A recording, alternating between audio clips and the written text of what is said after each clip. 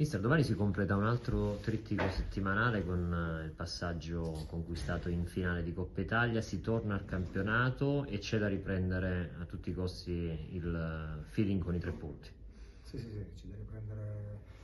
il campionato con la vittoria, una vittoria. Eh, affrontiamo una squadra che non sta vivendo un ottimo momento di forma nelle ultime tre partite, però affrontiamo una squadra organizzata, allenata da un ottimo allenatore che fino a 4-5 partite fa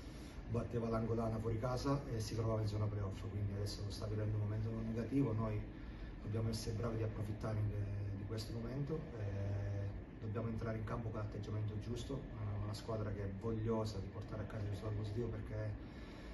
è una partita importante perché da qui alla fine adesso si possono sbagliare poche partite, poche volte puoi perdere pochi punti soprattutto in casa.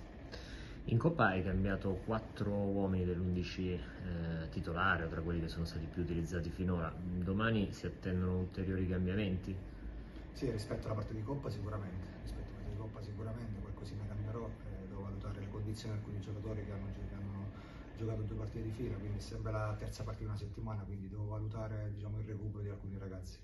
L'emergenza offensiva, viste gli infortuni di Oses e Mercado, può essere compensata dall'arrivo che verrà ufficializzato in giornata di Santi Rocco. Che giocatore è? Sicuramente, Santi Rocco è la classica prima punta, che è quel giocatore che noi cercavamo, è un obiettivo che ci eravamo prefissati da tanto tempo, è quel giocatore che soprattutto nelle partite sporche, quando trovi squadre chiuse, è quel giocatore che